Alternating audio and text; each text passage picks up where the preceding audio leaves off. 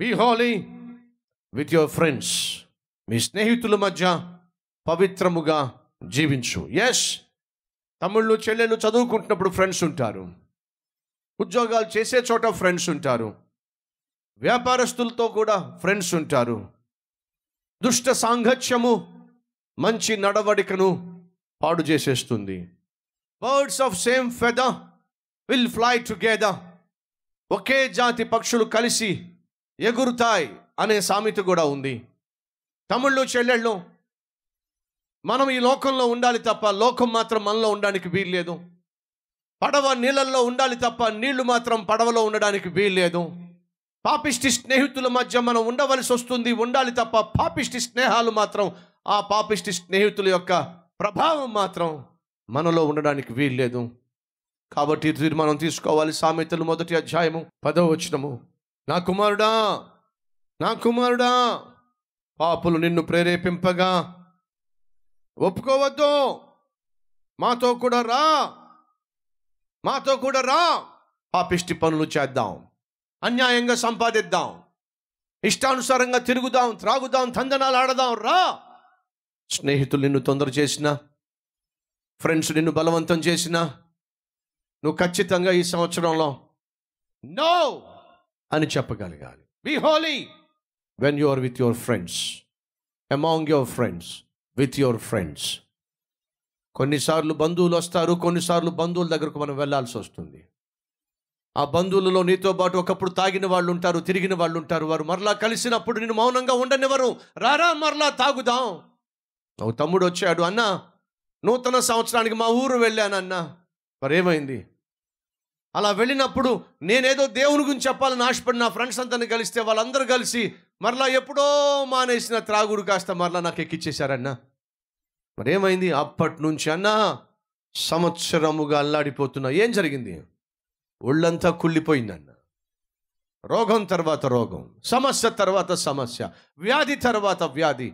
నా శరీరాన్ని వెంటాడుతూ ఉందన్న. కారణం తెలుసా?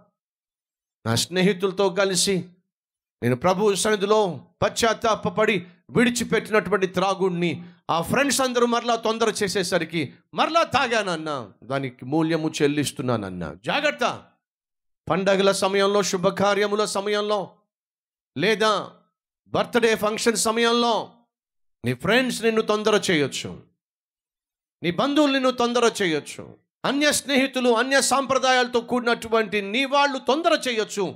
ఇవన్నీ కామనే. చూసి చూడనట్టుగా వీటిని చేసేసేయి అని చెప్పినప్పుడు ఈ సంవత్సరం ఖచ్చితంగా నువ్వు చెప్పాలి సారీ.